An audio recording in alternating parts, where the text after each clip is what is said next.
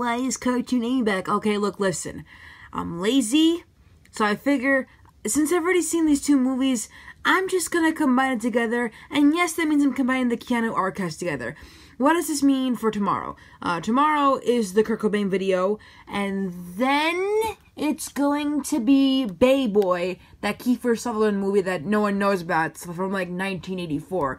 But yeah, in this video, I'll be discussing I Can, I Will, I Did and 1996. I Can, I Will, I Did is Mike Faist movie, and 1996 is a Robert Downey Jr. and a Kiefer Sutherland movie. So let's get it. Back when I was a Dear Evan Hansen fan, kinda embarrassed about that, I loved all of the original actors, and I wanted to know if they were all, you know, in movies, besides, you know, being in musicals. And that's when I discovered Mike Faist was in this movie called I Can, I Will, I Did. Back then, I thought the movie was really good and it gave Mike like you know a different way. I mean, he still had a really bad home life. I feel like every time I see Mike Faist in a movie, he has really shitty parents.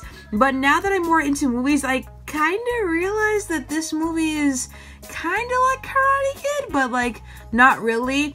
Also, you can tell that Mike Faist was still doing Evan Hansen because his nails are painted and his hair is long. Uh, I guess there's a, a, rule when you're an actor in a musical and your contract isn't up yet, you have to still have that certain hair length or have a certain thing on. So I'm just gonna assume he was still, you know, doing Dear Evan Hansen while being in this movie because this movie's from 2017, and I think he left in like 2018 or like somewhere in 2017. I, I don't really remember. 1969 is the first time you'll ever see Robert Downey Jr. and Kiefer Sutherland in a movie. I'm just telling you. And also Winona Ryder. Forgot to mention Winona Ryder, but uh, hey, I didn't watch this movie for her. I watched this movie for Robert Downey Jr. and um, Kiefer Sutherland. That is a tongue twister, bro. That is such a tongue twister. Robert Downey Jr. Bro, every time I say that, I feel like I'm gonna get tongue twisted. Anyways, whatever. This movie's about um, the hippie movement in 1969. How some people, no, not some people, some teenagers who are 18 decided to become hippies and to, you know, not join the war. I only really watched it for Robert Downey Jr. Oh my god, I swear to god, if I keep saying that, I'm gonna get tongue twisted. And Kiefer Sutherland. I didn't even realize Winona Ryder was in the movie.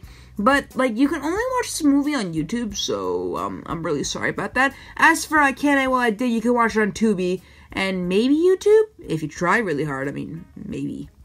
You reached the end of the video. Um, I linked in the description my last two videos, which is um, the movie review of Drugstore Cowboy and the Keanu Archive. I also linked the music I was using in this video, and I'll see you all next time.